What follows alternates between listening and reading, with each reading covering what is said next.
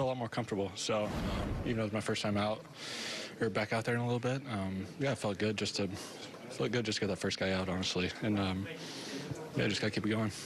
Does that give you the confidence that the adjustments you made, the mechanical adjustments, are working and, and they will translate to this level? Yeah, I mean, just the fastball command from the get-go is just is just the biggest thing I see, and just kind of reactions to swings. Um, so that's the biggest thing. But um, yeah, like I said, just gotta try to build off that and um, come in tomorrow ready to go.